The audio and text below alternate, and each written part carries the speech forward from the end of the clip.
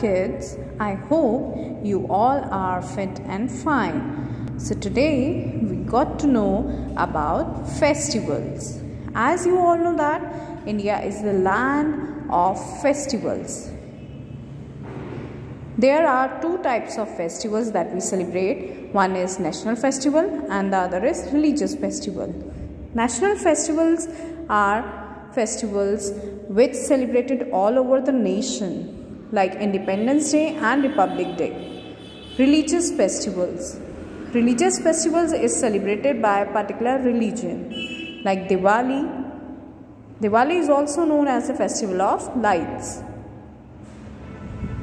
People decorate their home with diyas, candles, flowers and rangoli. Hindus worship goddess Lakshmi for wealth and wisdom. On this festival, people exchange gifts and sweets. They enjoy a delicious feast and wear new clothes. Eid. Eid al-Fitr is celebrated by the people of Muslim community. It is celebrated after a month of fasting during the holy month of Ramzan.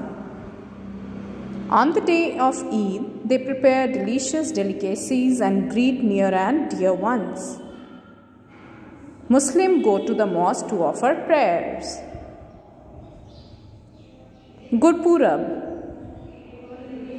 Gurpurab is celebrated by the people of Sikh faith. It is celebrated on the birth anniversary of their first Guru, Guru Nanak Dev Ji. They take out a colorful procession towards the Gurudwara and serve prasad. Guru ka langar is prepared and served. Christmas Christmas is, is a Christian festival celebrated on the birth of Jesus Christ on 25th December. People decorate the Christmas tree. They wear new clothes, prepare sweets, cakes, and greet their family and friends.